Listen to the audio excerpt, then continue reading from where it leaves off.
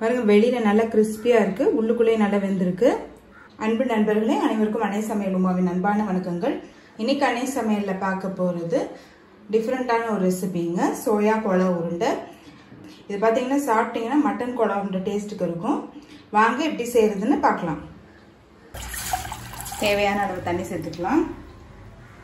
அடுத்தது இதில் ஒன்றரை கப் சோயா சங்க் சேர்த்துக்கலாம். இப்போ சுடு ஒரு பத்து நிமிஷம் வச்சிடலாங்க. அதுக்குள்ளே நல்லா வெந்துடும். மீல் மேக்கர் பாருங்க நல்லாவே பெருசாகிடுச்சு வெந்துருச்சு. இதை ரெண்டு தடவை நல்லா கழுவிட்டு பிழிஞ்சு தனியாக எடுத்து வச்சிடலாம். கொலாண்டர் இல்லை ஸ்ட்ரெயினரில் வச்சிட்டிங்கன்னா தண்ணி எல்லாம் போயிடுங்க. அதுக்கப்புறம் நல்லா இது மாதிரி பிழிஞ்சிடுங்க.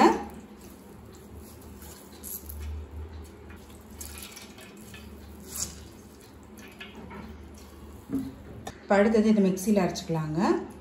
இது கூடவே மூணு பச்சை மிளகாய் ஒரு சின்ன துண்டு இஞ்சி அஞ்சு பல் பூண்டு ரெண்டு டீஸ்பூன் சோம்பு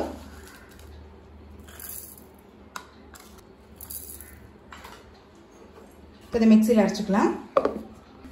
இப்போ மிக்சியில் அரைச்சாச்சுங்க. இது ஒரு பவுலுக்கு மாற்றிக்கலாம்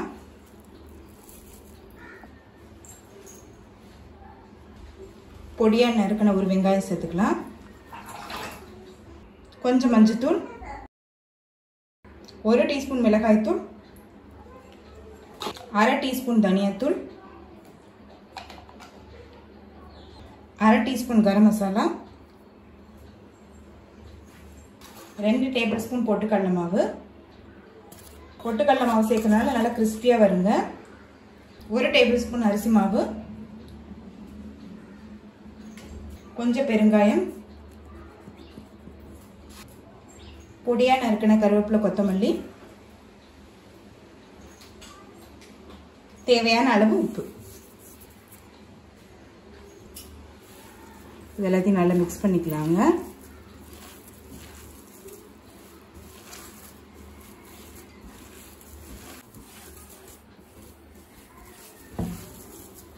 நல்லா மிக்ஸ் பண்ணலன்னா எல்லாமே காரம் ஒரு இடத்துல இருக்குங்க. உப்பு ஒரு இடத்துல இருக்கும். அதனால் நல்லா மிக்ஸ் பண்ணிவிடுங்க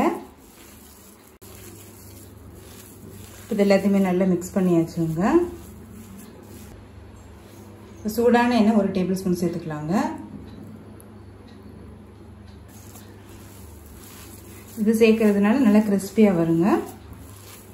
இப்போ எல்லாத்தையும் நல்லா மிக்ஸ் பண்ணியாச்சு. இப்போ நம்ம உருண்டை பிடிக்க ஆரம்பிச்சிடலாம்.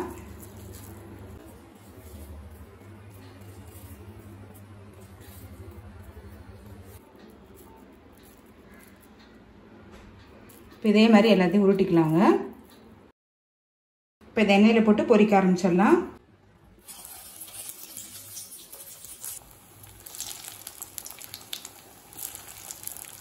நம்ம உள்ளுக்குள்ளேயும் வேகணும் வெளியிலையும் இந்த கலர் மாறணும்.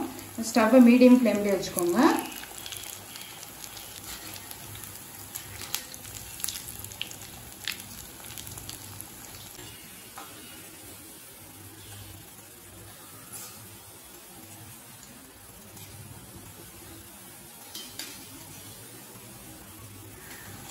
கலர் பார்த்தீங்கன்னா நல்ல பொன்னிறமாக மாறணுங்க.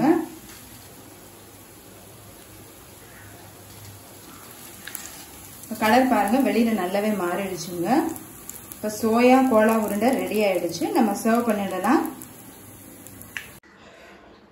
சுவையான சோயா கோலா உருண்டை ரெடி ஆயிடுச்சுங்க. ரெசிபி ட்ரை பண்ணி பாருங்க. கண்டிப்பாக உங்களுக்கு பிடிக்கும். ரெசிபி பிடிச்சிருந்ததுன்னா வீடியோவை லைக் பண்ணுங்க கமெண்ட் பண்ணுங்க ஷேர் பண்ணுங்க. இது வரைக்கும் அன்னை சமையல் சேனலை சப்ஸ்கிரைப் பண்ணாதவங்க சப்ஸ்கிரைப் பண்ணுங்கள் தேங்க்யூ